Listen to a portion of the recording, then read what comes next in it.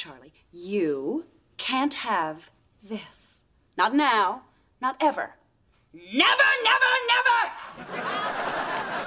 but I wasn't pretty enough for you.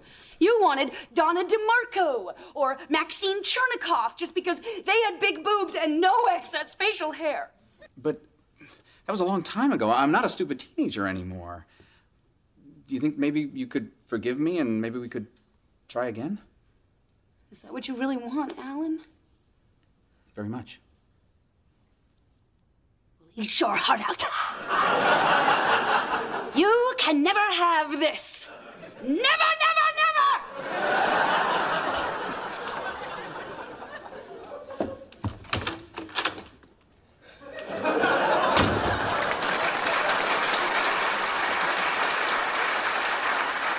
Well, I guess we know why she's still single.